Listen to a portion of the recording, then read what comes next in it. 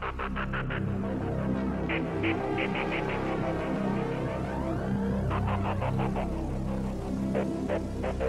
you.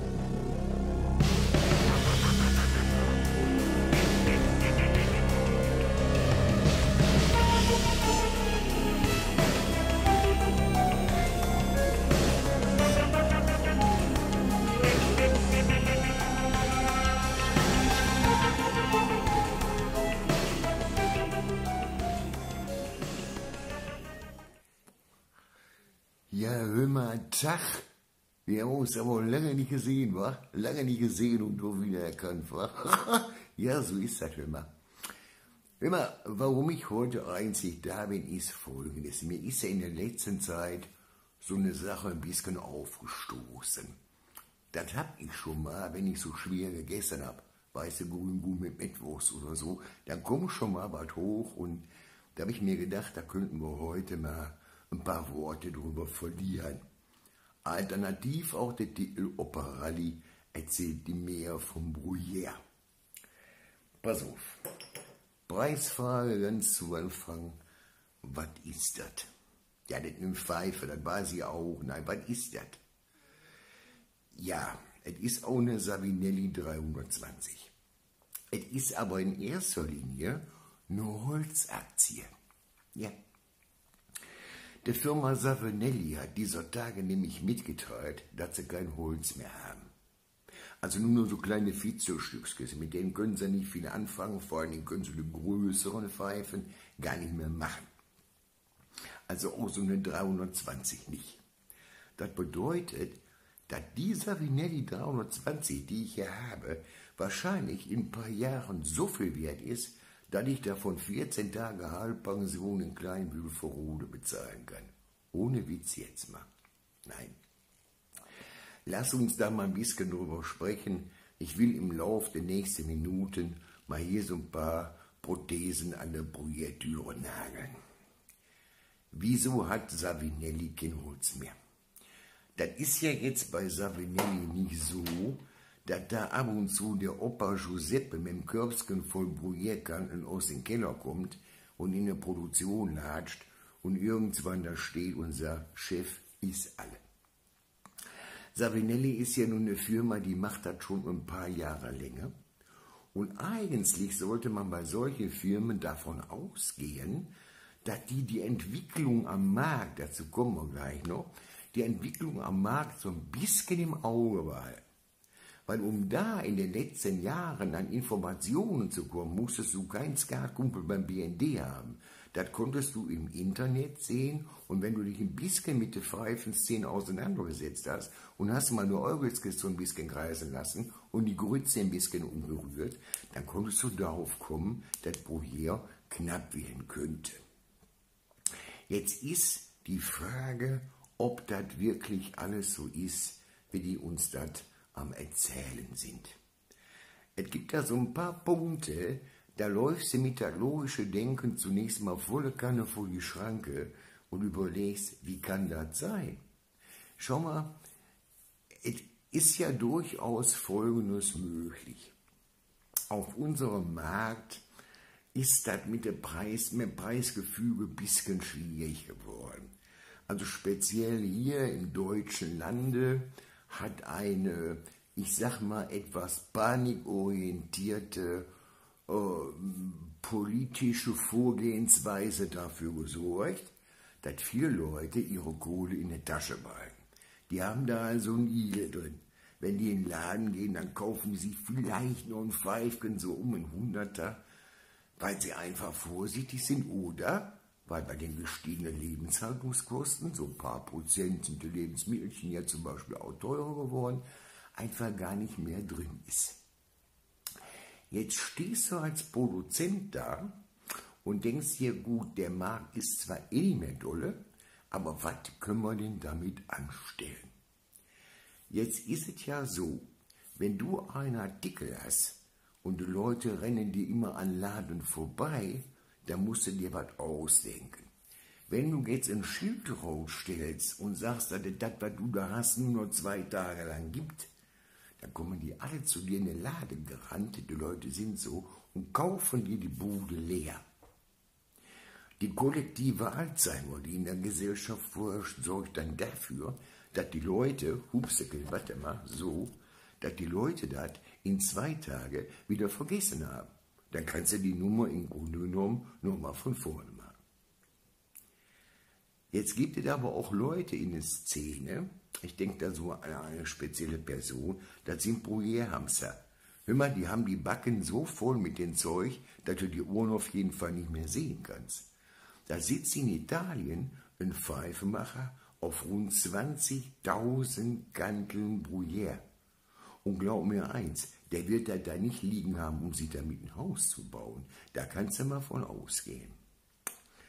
Also muss man sich fragen, ob vielleicht das Marktinstrument der künstlichen Verknappung da eventuell eine Rolle spielen könnte. Andererseits ist es so, warte, ich muss mal ein bisschen Kamera gerade rücken, andererseits ist es so, die Märkte geben natürlich woanders, zum Beispiel in dem riesen Disney World auf der anderen Seite von Deich oder in dem hochdemokratischen, gewaltigen Reich der Mitte viel mehr her. Da kannst du rausknüppeln ohne Ende. Und da sind die Leute auch noch bereit, für vielleicht nicht ganz so fein gearbeitete Bifres eine entsprechende Kohle zu bezahlen. Das war ja wahrscheinlich auch einer der Gründe, warum Stenwell sein Zeugs nur noch in Amerika verkauft. Jetzt gibt es so ein paar Gerüchte, die sagen, das mit dem knappen Holz, das haben die vorher gewusst und deswegen haben die die gewissen kleinen Mengen, die die nur noch haben, für den US-Markt reserviert. Halte ich ehrlich gesagt für Blödsinn. Aber es sind so Sachen, hör mal, da fällt dir wirklich nichts mehr ein. Wenn er, und dann ist jetzt mal kein Witz, wenn er dir überlegen tust, dass Peterson im Grunde von der Kantel im Mund lebt, das heißt, die haben eigentlich gar kein Holz mehr und immer wenn die paar Stückskes kriegen, dann denken die sich irgendeine Serie aus, die man damit frickeln kann und hauen die auf den Markt. Ja, sag mal, kann das denn alles noch sein, was die uns da erzählen und was die da machen? Selbst jemand, der nicht so unbedingt in der Szene drin ist, der hätte schon vor ein paar Jahren eine Entwicklung mitbekommen können oder eigentlich müssen, da ja sein Geschäft ist, die offensichtlich war.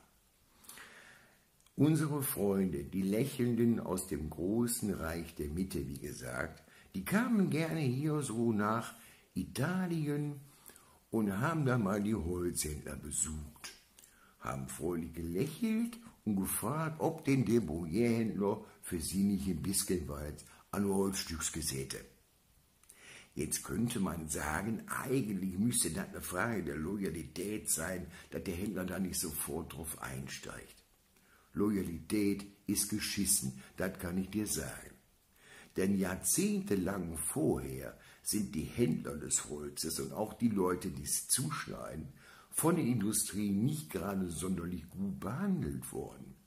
Erstens mal wurde laufend die Kohle gedrückt, also du kriegst es immer weniger für dein Holz, obwohl es ja am Markt weniger wurde. Und zum zweiten Mal hast du da mal so ganz lässig mit deinem Zahlungsziel agiert. Das heißt, du hast heute die Krankenhilfe gekriegt, die hast du mal in drei Monate bezahlt.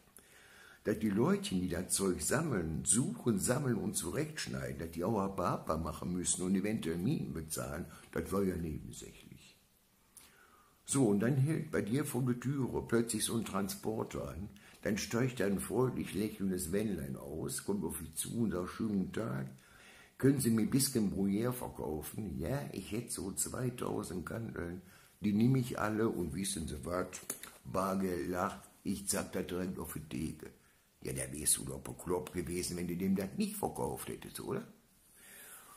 Und es ist ja auch so, dass das gar nicht alle nach China geht. Zum Teil werden die chinesischen Pfeifen für den europäischen Markt ja auf europäischem Boden gefertigt. Kommt nur noch mal dazu. Und wenn sie dann mit so einer Chefin von einer chinesischen Firma sprichst und bitte auch da wieder kein Ska-Kumpel bei BND, einfach nur freundlich angefragt, ob ich mal was fragen dürfte. Wenn du dich mit der Frau unterhältst Und die sagt dir, dass sie im Vierteljahr ungefähr 25.000 Kanteln, 25.000 brauchen, um ihren Markt zu befriedigen. Und das ist nur eine von vielen Firmen. Dann müssten so langsam aber sicher mal die Sönnekes aufgegangen sein. Und das ist ja schon Jahre her. Aber Lagerhaltung ist ja kacke, kostet ja alles viel Geld. Just in time, wenn ich es brauche, dann kaufe ich es. Und dann kommt der lange Mittelfinger, dann ist nämlich nichts mehr da zum Kaufen. Und so sieht die Realität aller Wahrscheinlichkeit nach aus. Was einen dabei so ein bisschen irritiert, das sind so Sachen wie Savinetti sagt, sie haben kein Holz mehr, um größere Piepkos zu machen. Zeitgleich ballert der Ulrich Hirser aus Tschechien aber eine ganze Wagenladung von seinen Piepkes hier rüber, damit die Jungs und Mädels von Cigarworld in Düsseldorf die jetzt verkaufen können. Da muss man sich fragen, ob die NASA vielleicht zwischenzeitlich einen Planeten entdeckt hat, auf dem Bruyère wächst, es aber nicht jedem verraten hat. Und das sind alles so Dinge, da denke ich hin und zurück und da komme ich ehrlich gesagt nicht so richtig auf den Nenner. Dass Bruyère knapp wird, ja, das wissen wir. Aber auch da, wie ich eben schon gesagt habe, ist die Entwicklung nicht erst gestern plötzlich so aus dem Gully gestiegen, sondern die konnte man schon ein paar Jahre zurückverfolgen. Zum Beispiel, dass kaum nur eine Sau sich das heute antut, irgendwo in einem Macchia oder am Strand rumzukriechen, um Baumeile auszubuddeln. Das würden die bestimmt machen, wenn sie dafür vernünftig bezahlt würden. Aber wenn du überlegst, was die für ein paar Gröden für die Maloche gekriegt haben, und jetzt gibt es in den Dörfskes, wo die leben, vielleicht was weiß ich, eine kleine Produktion oder der kauft sich einen 50er Roller und fährt im Nachbardorf in der Fabrik arbeiten. Kriegt er mehr Geld im Monat und ist abends bei der Familie. Ja, wen wundert das denn, sag mal? Ja.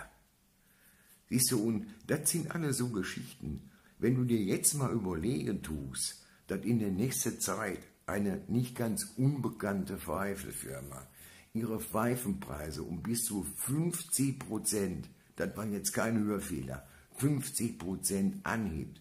Da musst du die doch mal fragen, ob die nie Nebenluft ziehen, hör mal. Wer heutzutage, jetzt aktuell am Markt, nimm einfach mal, ich nehme mal ein Beispiel raus, wer da willens ist, für eine Crown Viking, wirklich die einfachste und bestimmt nicht mehr beste Qualität, 170 Taler zu zahlen, hör mal, der kennt sich doch morgens mit einem Gotlethammer, oder? Dann dürfen Sie sich doch nicht wundern, wenn der Markt nicht mehr läuft. Und das greift alles mehr oder weniger ineinander. Tatsache ist aber, und die wichtigste Tatsache ist, dass seit Jahren, seit vielen Jahren, das ganze Problem absehbar war. Die haben wahrscheinlich alle nur draußen gestanden und mit dem Pfeifenmarkt blinde Kuh gespielt. Anders kann ich mir das nicht erklären. Leidtragende sind jetzt natürlich die Händler, Leidtragende sind die Kunden, und letzten Endes ist auch der Produzent der Leidtragende, weil er die Scheiße, die er gebaut hat, jetzt ausbaden darf. So, denke ich, sieht die Realität aus. Das sind jetzt alles nur Gedanken, die ich mal so für mich gehabt habe. Was ich hier genannt habe an einzelnen Dingen sind Tatsachen. Das ist nicht vorher erfunden, da habe ich mich wirklich hintergeklemmt und mich informiert. Meine Schlussfolgerungen sind meine persönlichen. Aber dass das Ganze nicht wirklich mit rechten Dingen zugehen kann, wenn du von hier und von da gegenseitige äh, Informationen kriegst, dann muss eigentlich jedem einleuchten. Also irgendwas an der Szene ist nicht mehr koscher. Da kannst du mir sagen, was du willst. Fakt ist nur eins. Wenn du dich anguckst, dass du heute für eine normale Serienpfeife 180 Euro bezahlen sollst, und dann hast du so eine gute ne, Mittelklassenpfeife oder für eine Jahrespfeife weit über 200, vielleicht 250 Euro bezahlen sollst. Dann werden zwei Sachen besonders interessant. Das eine ist, mal nach einem Pfeifenmacher zu gehen und die zu fragen, was sie für ein schönes Pfeifchen haben wollen. Denn die Jungs waren größtenteils clever genug, sich früh genug bisschen an Holz, an Bruyère auf Lager zu legen, auch wenn das ein paar Euro gekostet hat. Denn die haben ja auch Lagerkosten. Und der zweite Punkt ist, die Ästethändler und die, die noch werden, die werden sich über die Situation, die jetzt im Moment herrscht, den Arsch abfreuen und das dreimal hintereinander. Da wird in nächster Zeit viel Kohle gedreht und ich möchte nicht, jetzt schon nicht wissen, wie sich die Ästhetpfeifenpreise in absehbarer Zeit entwickeln werden. Durch Unfähigkeit von Management kommen wir jetzt an den Punkt, den wir nie haben wollten. Irgendwann ist das Rauchen von einem feinen Bruyère-Pfeifen nur noch was für Leute, die im Silicon Valley irgendwelche Klamotten entwickeln. Früher hätte sie gesagt, Ölscheiß, aber den geht ja auch nicht mehr so gut. Ne? Also wer die Talos dann, dann nicht mehr hat, der hat halt die Arschkarte. Oder er weicht, was vernünftiger ist, auf die Estates aus. So, liebe Pfeifenproduzenten, kriegt er den Markt jedenfalls endgültig im Arsch. So viel musste dazu, denke ich mal, gesagt werden. So, und jetzt will ich mich darüber nicht weiter aufregen. Da wollte ich einfach mal mit euch drüber sprechen. Ich habe jetzt noch ein bisschen was hier zum Spielen und ja, ich sag mal, bis die Tage irgendwann, wir, wir, wir sehen uns. Sobald wieder ne, was hochkommt, dann Grünkohl. Na gut, wir sehen uns.